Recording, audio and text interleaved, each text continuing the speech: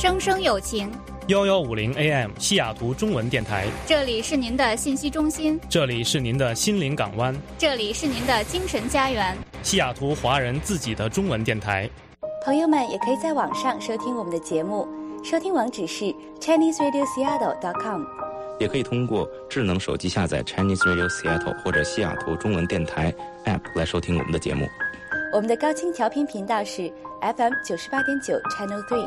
我们的微信平台、新浪微博和 Facebook 账号都是 Chinese Radio Seattle。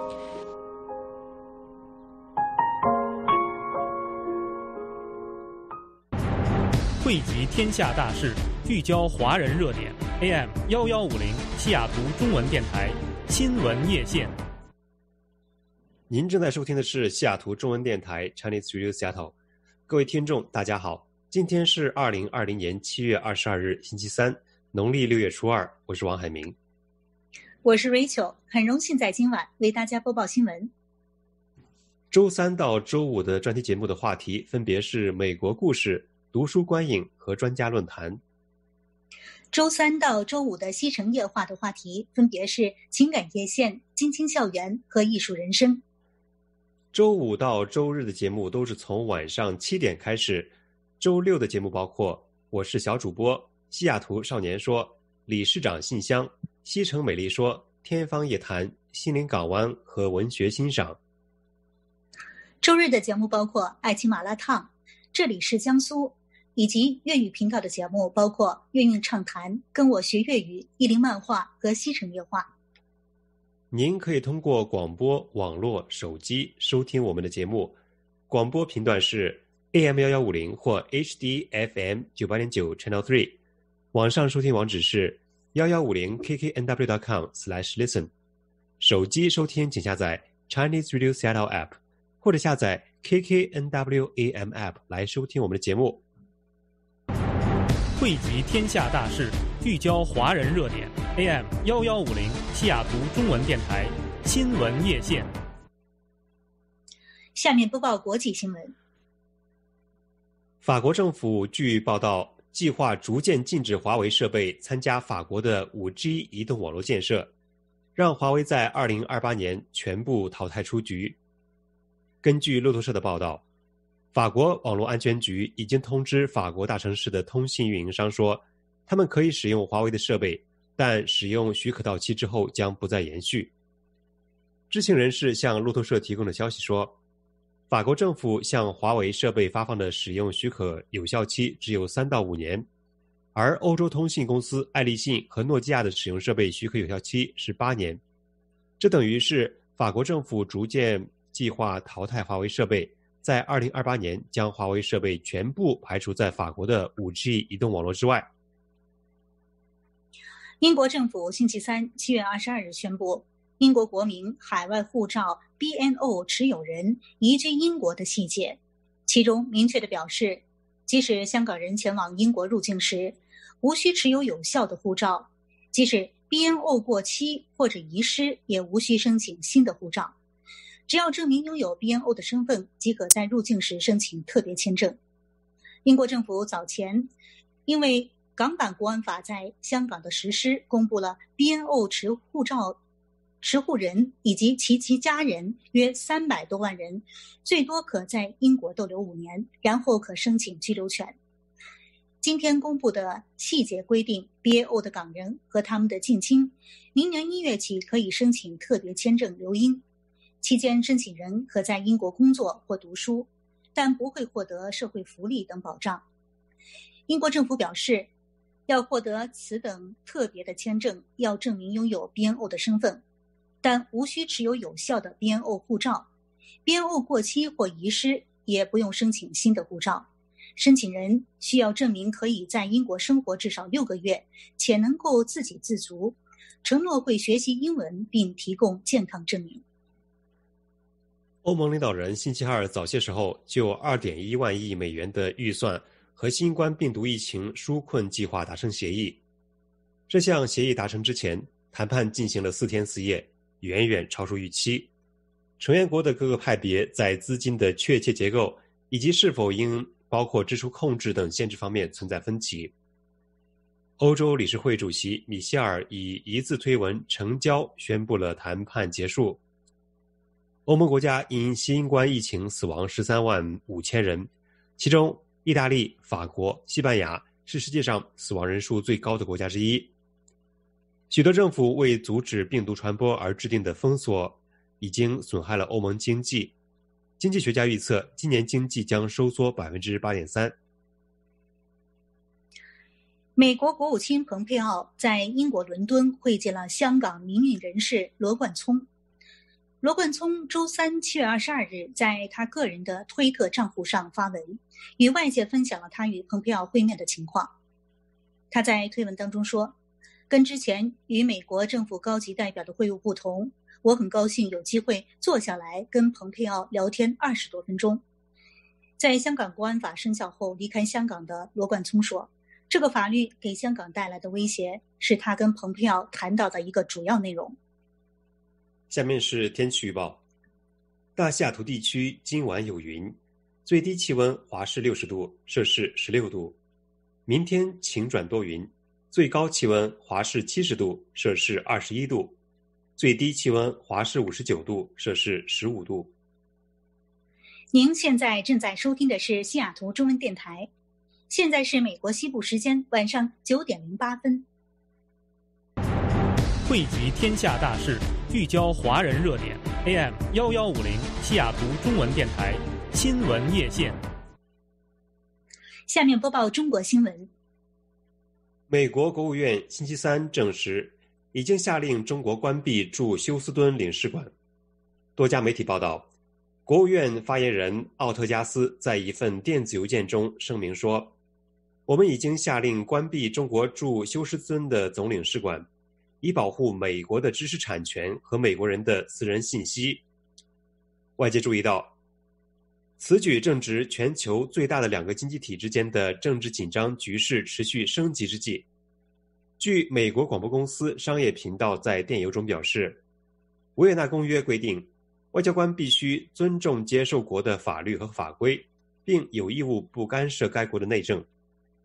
奥特加斯补充说：“华盛顿不会容忍中华人民共和国侵犯美国主权和恐吓我们的人民，就像我们不容忍中华人民共和国的不公平贸易做法、窃取美国就业机会和其他恶劣行为一样。”从媒体的报道中没有看到关闭中国驻休斯敦总领馆跟保护美国的知识产权和美国人的私人信息之间的联系。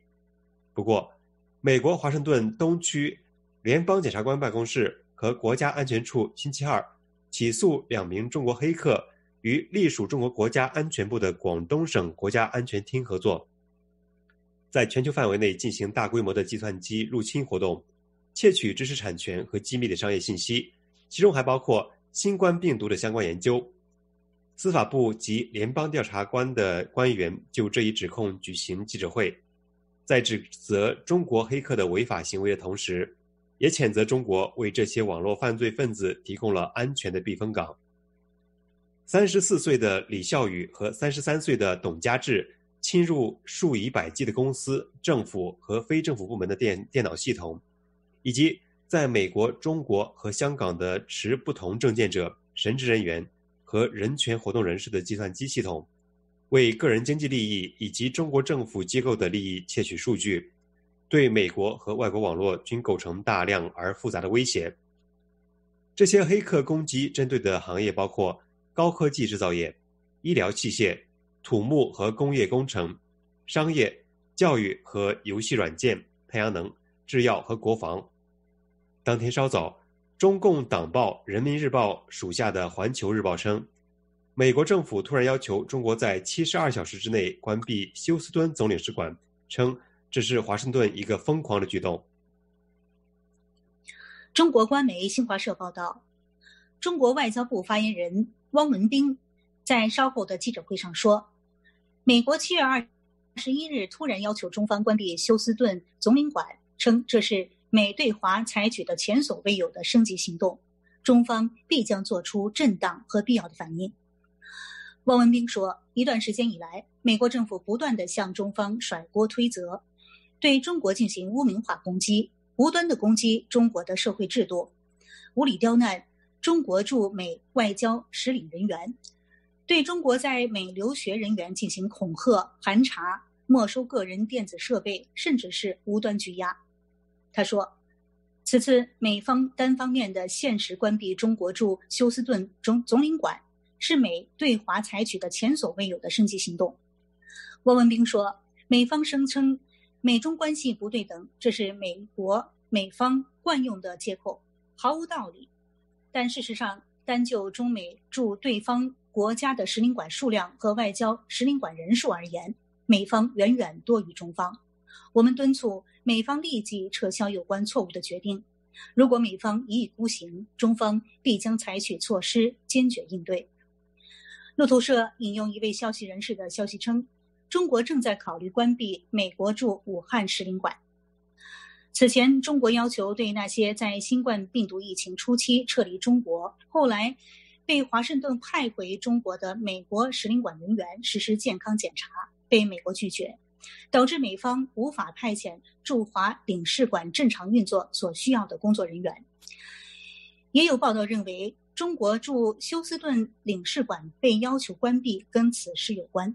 另外，中国驻美国休斯顿总领馆星期二晚上发生火警，当地的消防人员到达现场救火，但未能够进入大院。当时，领馆的人员在大院中用明火烧文件，当地居民看到浓烟滚滚，于是报警。据休斯顿市多家的电视台报道，在当地时间二零二零年七月二十一日晚上八点前后。休斯顿消防局人员在接到火警报告后，赶到位于 Montrose 三四幺七号的中国驻休斯顿总领事馆。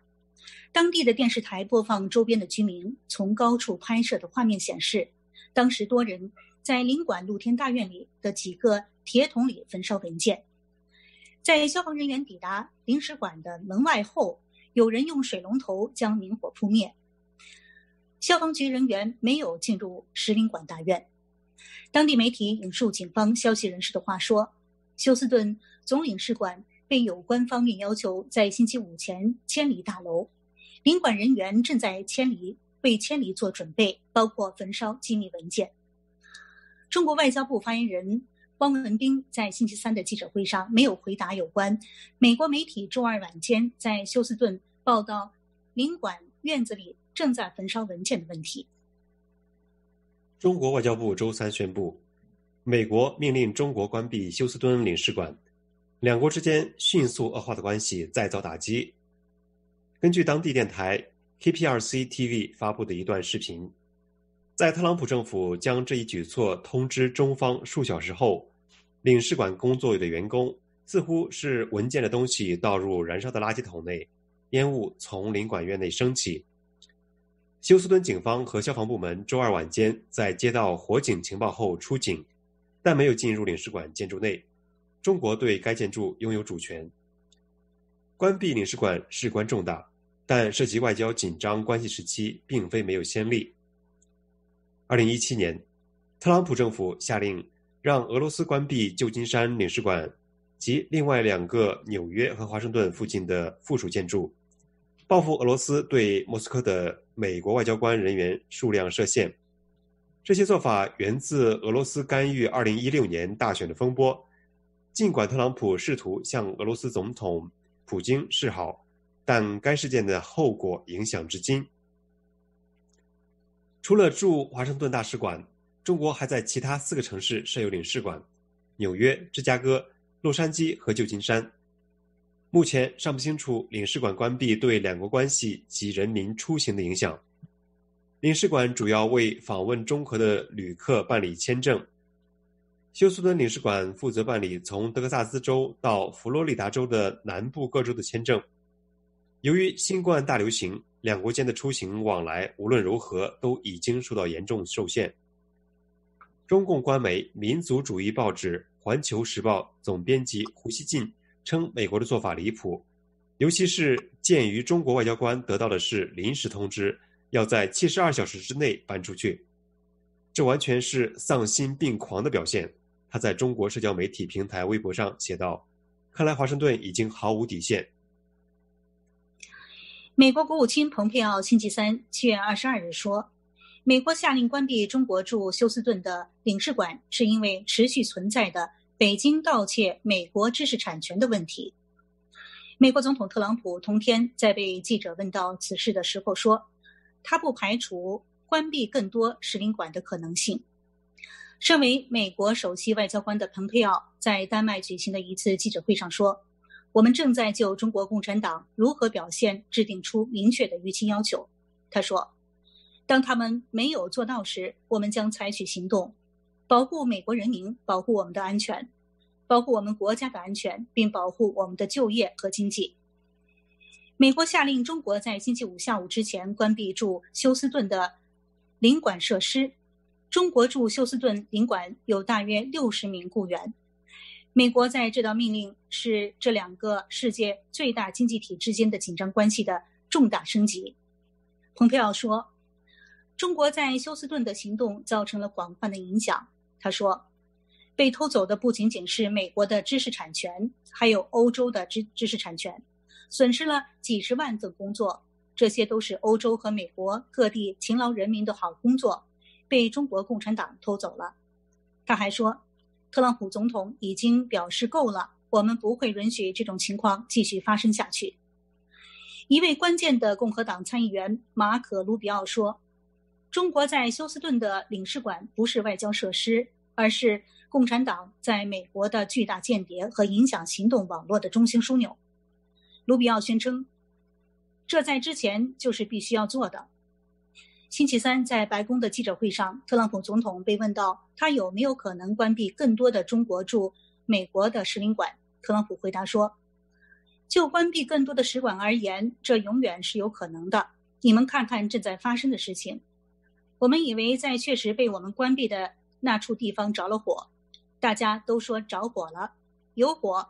我猜想他们是在焚烧档案或是烧文件。我很好奇这是怎么回事儿。”广告后为您带来美国新闻部分。想娱乐，下载喜马拉雅；听资讯，下载喜马拉雅；学英语，下载喜马拉雅。快下载喜马拉雅 App，H I M A L A Y A。喜马拉雅，你想听的全免费哦。热烈祝贺！热烈祝贺！热烈祝贺！西雅图中文地带，西雅图中文电台，西雅图中文地带，西雅图中文地带，西雅图中文电台，西雅图中文电台开播八周年。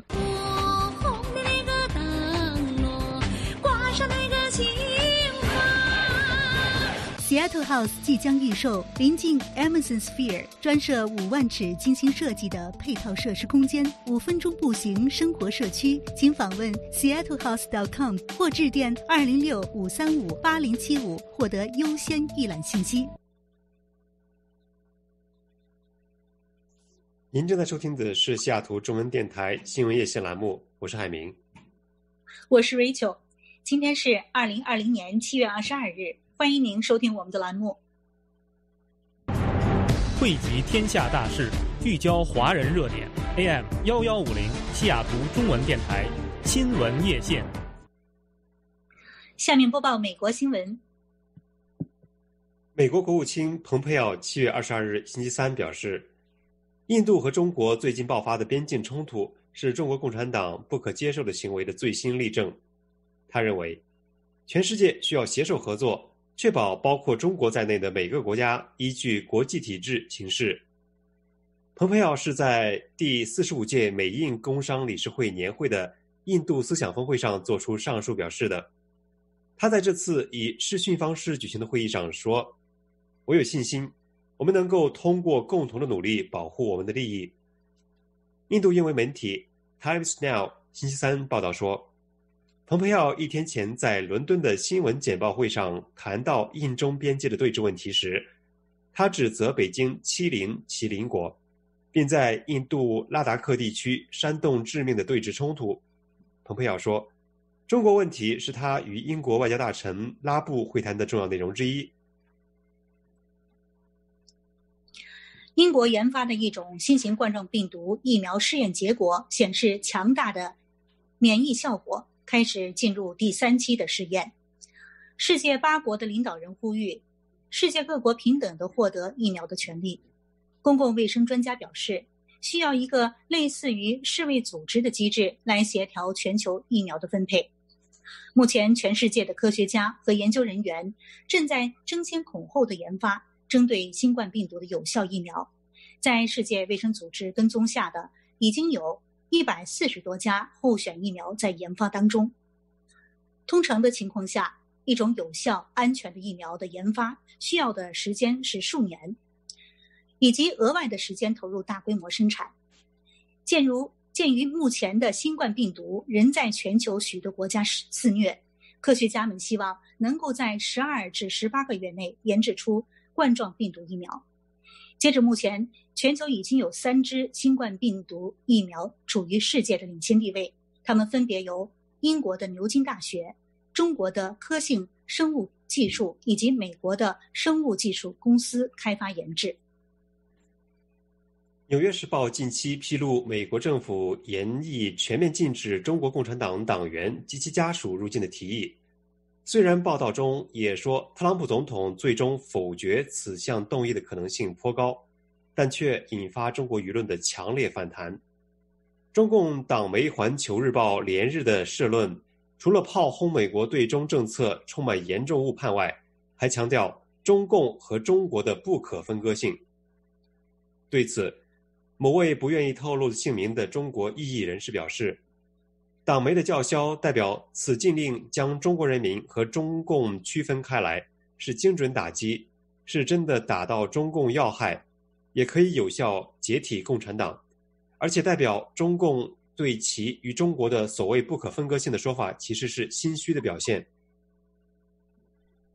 美国参议院国土安全与政府事务研究会周三七月二十二日。无异议的通过了一项共和党参议员乔什·霍利提出的法案，禁止联邦雇员在政府提供的电子设备上使用中国字节跳动公司拥有的社交媒体应用软件程序 TikTok，也就是抖音的海外版。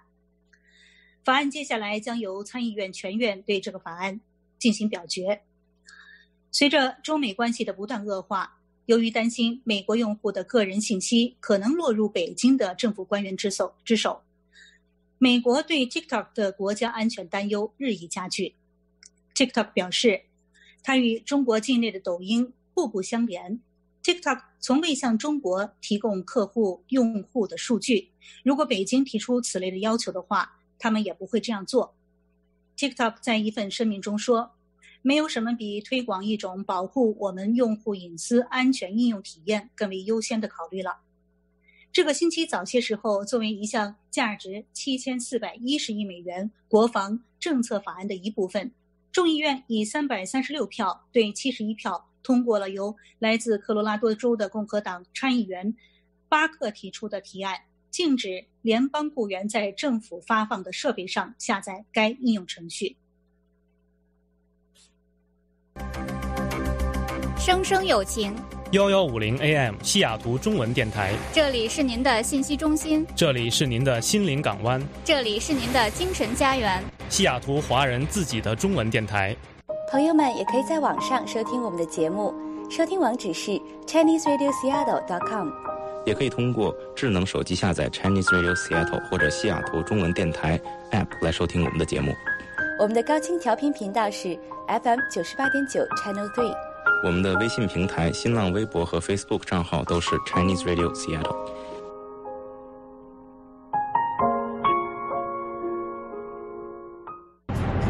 汇集天下大事，聚焦华人热点。AM 幺幺五零西雅图中文电台新闻夜线。下面播报西雅图本地新闻。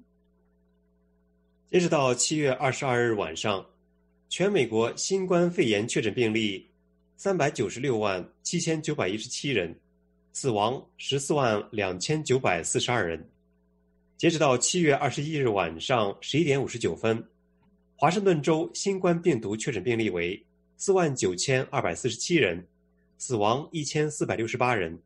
其中，King County 确诊人数一万三千六百二十七人，死亡六百三十八人。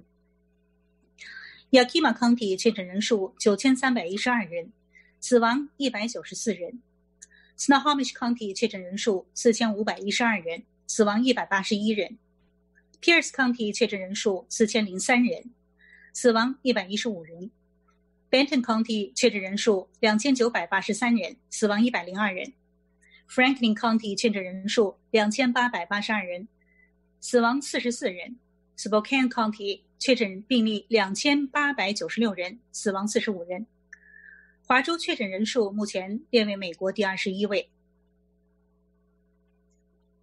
到目前为止，华州已根据 DOH 对新的冠状病毒进行了八十五万五千一百五十二项测试，其中有约百分之五点八的测试结果呈阳性。在过去一周中，华盛顿约百分之五点五的测试呈阳性。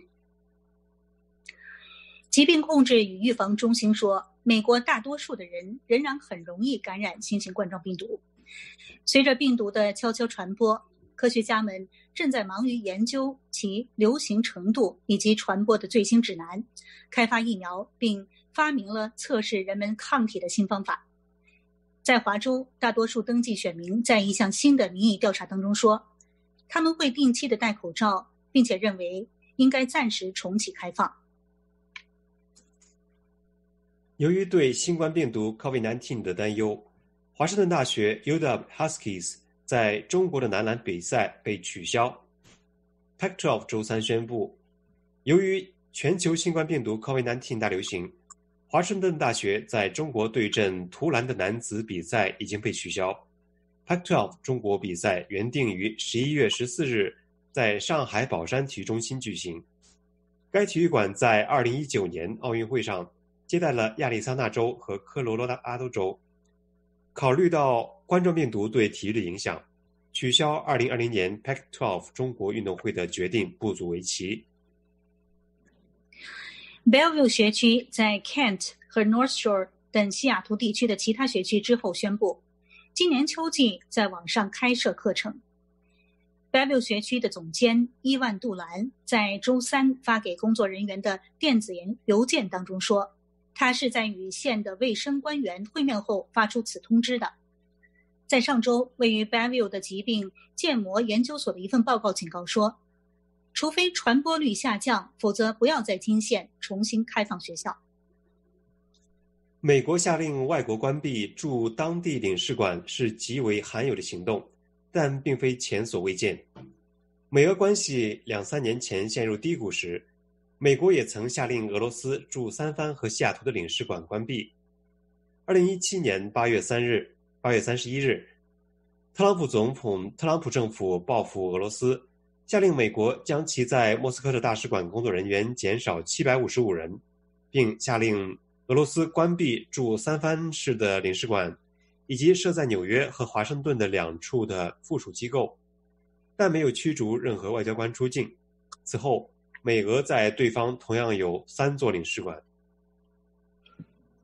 西雅图 NHL 下午五点发出一条推文，暗示他将在周四上午发布重要声明。自从该团队于二零一八年十二月被授予西雅图以来，NHL 西雅图队的名称、徽标和颜色就得到了许多的推荐，并且也是人们所期望的。下面是天气预报。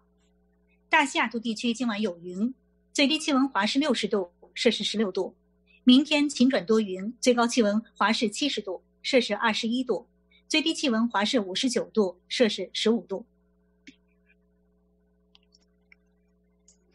广告后，请继续收听西雅图中文电台新闻夜线栏目。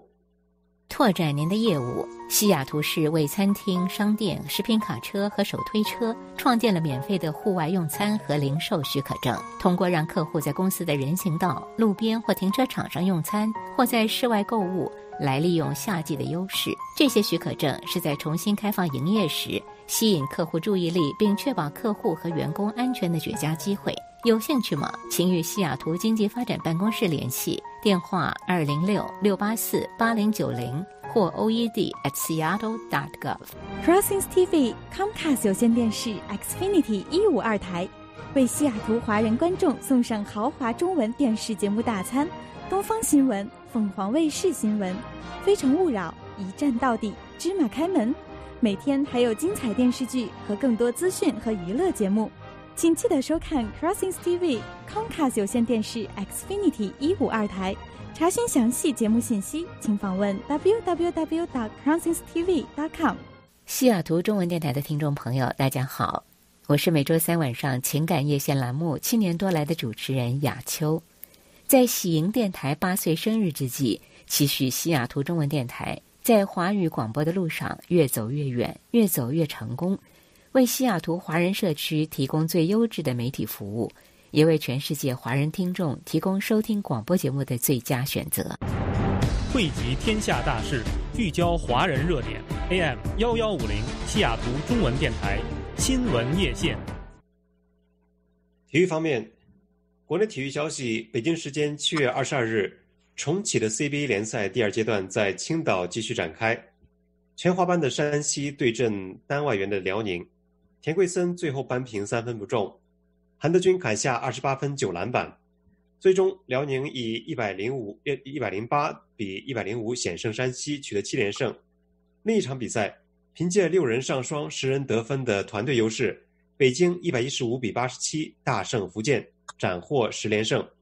此役林书豪上场七分钟得到了十分，福建队王哲林和劳森缺阵。日前，西班牙人俱乐部召开发布会。多名西班牙人高层参加了会议，在会议上，西班牙人体育总监卢菲特确认武雷下赛季将留在球队。之前，根据媒体的报道，狼队、沃特福德等球队有意签下武雷，而武雷之前在接受新华社的采访时说，他表态自己愿意留在西班牙人，帮助球队重返西甲。声声有情。幺幺五零 AM 西雅图中文电台，这里是您的信息中心，这里是您的心灵港湾，这里是您的精神家园，西雅图华人自己的中文电台。财经方面，美国东部时间七月二十二日截至收盘，道指涨一百六十五点四四点，报两万七千零五点八四点，涨幅为百分之零点六二；纳指涨二十五点七七点，报一万零七百零六点一三点。涨幅为百分之零点二四，标普五百指数涨十八点七二点，报三千二百七十六点零二点，涨幅为百分之零点五七。截止收盘，贵金属市场方面，美国 COMEX 黄金期货涨近十美元，报每盎司一千八百五十三点六五美，涨幅为百分之零点五。国际原油市场方面，WTI 原油期货跌百分之一点一，报每桶四十一点四五美元。伦敦布伦特原油期货跌百分之一点零二，报每桶四十三点九七美元。亚洲股市方面，沪指报三千三百三十三点一六点，深成指报一万三千六百五十七点零三点，美元兑换人民币的汇率为一美元兑换七点零零零二元人民币。近期，上交所和中证指数公司正式发布修订上证综合指数。编制方案的公告，今日上证综合指数编制方案修订已经正式实施。本次修订的范围包括剔除风险警告股票、延新新股计入指数时间等。以上新闻节目内容是由海明和 Rachel 为您播报的。今天的新闻采编是陈香、陆怡、萨萨、邢文、John 和小袁。想要了解更丰富的最新内容，请随时访问我们的网站 ChineseRadioSeattle.com 或在线搜索西雅图中文电台。当然，你也可以通过电台 Facebook 主页 Chinese Radio Seattle、微信公共平台今日西雅图、新浪微博账号西雅图中文电台，或者下载中文电台的手机 App Chinese Radio Seattle 收听或关注我们的节目。接下来的专题节目是美国故事栏目，下面把时间交给小袁。大家好。我是音乐节目《下图不眠夜》的主持人镜子。在西雅图中文电台成立并开播八周年之际，要特别感谢大家一直以来对电台的喜爱和支持，也衷心祝愿中文电台越办越好，不忘初心，始终如一。肌肉骨骼伤痛、车祸、工伤，请找康健脊椎治疗中心肖明医师。康健康健，祝您健康。电话：二零六六二幺七五零幺，二零六六二幺七五零幺。